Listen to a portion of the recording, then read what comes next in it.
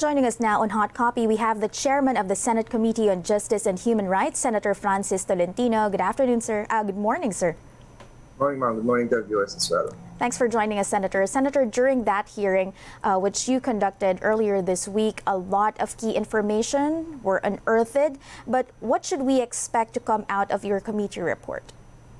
Well, uh, as I as I told during the start of the investigation, we now uh, respect the prerogative of the police, National Bureau of Investigation, as far as the criminal aspect of this concern, uh, together with the Department of Justice. But insofar as policies shift and amendments to the, to the existing law, which is Republic Act 11053, we're looking at several uh, several changes that perhaps would further strengthen the law, including the role of the schools. Uh, let's admit that a lot of admissions were made during that investigation by, by Adamson that there was no orientation program conducted prior to the start of the semester in violation of existing laws. Number two, I think the the role of the LGUs, the barangay, should likewise be highlighted here. They should be given uh, they should be given access to initiation activities, whether it's the fraternity is school based or community based. Okay, uh, sir, uh, so far under the current anti-hazing law, there should be representatives of schools and even organizations or faculty present during the initiation rites of fraternities and sororities, but yet this has not been observed. Have you traced the root cause of the problem? Is it really a matter of giving schools access, or is it um, a, a matter of the implementation of the law? Implementation. Apparently, there was no orientation program yet so far as Adamson is concerned. Uh, no due respect, because from their website, the orientation program will be conducted come March 18. And that's after the, after a month uh, after the death of uh, Matthew Salilig, when, wherein under the law, uh, the, the orientation should be done prior to the start of a semester or, or a trimester, as the case may be.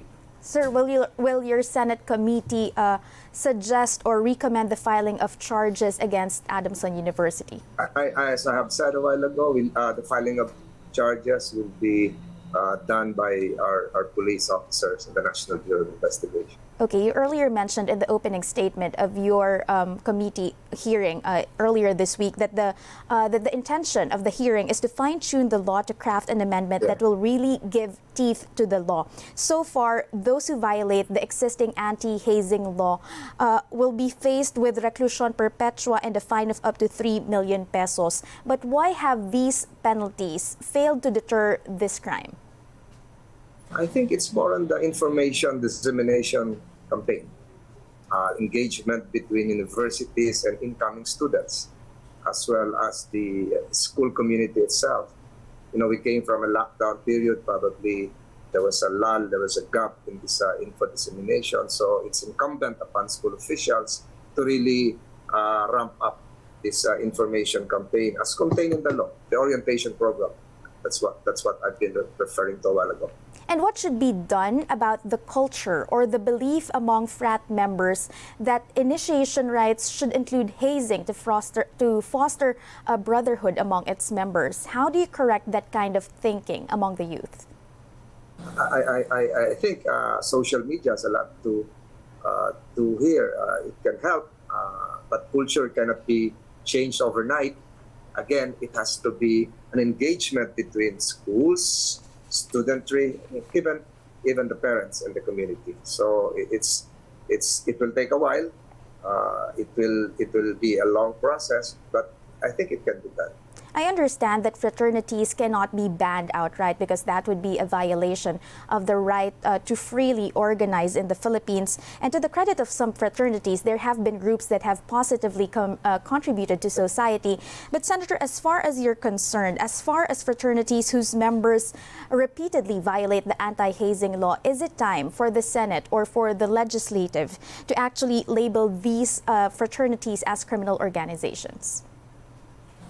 It, it uh, there is uh, you mentioned the uh, constitutional right to form organization and to freely associate oneself with, with other groups. So I, I think uh, it, it, it, it cannot be done uh, outright.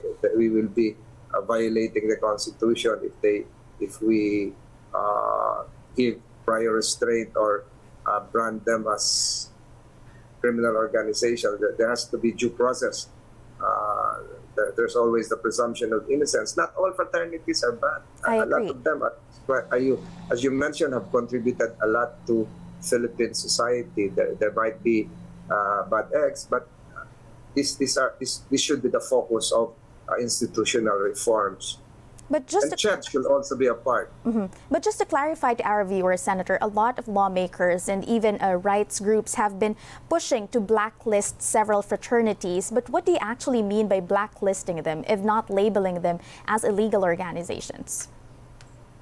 I, I'm not I'm not part of that group uh, calling for the blacklisting. That's that's that's the call of the school uh, authority, of the management, the Commission on Higher Education. Uh, perhaps perhaps uh, sanctions can be given. Uh, for instance, for instance, administratively, they're, they're allowed to expel students uh, in the first place. So again, as if you follow the doctrine of locus parentis, the, the schools are acting as the secondary parents. Uh, they have they have the supervision over the children. They have they should always look on what is the best interest of the child, uh, best interest of the student. So I I think the the stud- the schools should have a more proactive role. Okay, Senator, I understand that you have to leave in a few minutes for another committee hearing, but just to Yes. wrap up this interview, aside from the gravity of the penalty, aside from uh, adding uh, additional um, uh, penalties uh, in the existing law, how can legislators actually improve the certainty of the punishment? Because, as far as several studies are concerned, this is what actually deters crimes like these. uh, it's it's it's now it's it's not it's not the, the sole job of the the Congress. We've done enough. Uh, I think we've tightened uh, the law. Republic Act one one one zero five three is tight enough. Implementation is another aspect, as well as the judicial process. The gathering of, the, of evidence is another aspect. So this is this is a collaboration and uh, engagement of various branches of government. We've done a role. Uh, I think a lot a lot of uh, the other agencies should also play their respective roles, specifically the Commission on Higher Education. With recent developments in the case, will you be holding another committee hearing on this matter anytime soon? And what should we expect to come out of that hearing? We, we, we're still, I'm still waiting for some uh, National Bureau of Investigation reports. Uh, this is still an evolving case. Uh, I think there are still nine persons at large.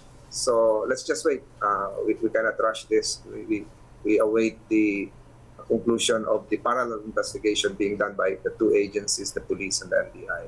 Any efforts, sir, They're to doing a good job.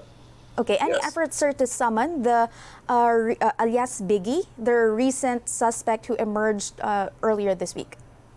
let's see let's see what will happen because uh, I think he's still is under custody and uh, I, I have yet to read his statement except for the anecdotal news reports today. And finally, Senator, has the Tau Gamma uh, uh, uh, Phi fraternity actually reached out to your office to somehow No, provide? no. Go ahead, sir. No, no. I, I- think uh, I, uh, we cannot generalize this. We cannot brand uh, the fraternity Tau Gamma as really a violent organization. As I've said, as you have admitted, that contributed to Philippine society. I think some members, because they function as, as autonomous chapters, some members probably violated their own uh, organizational rules. So let's see where this investigation will end. And with that, we have to end this interview. Thank you so much for joining us this morning, Senator Francis Thank. Tolentino. Good morning.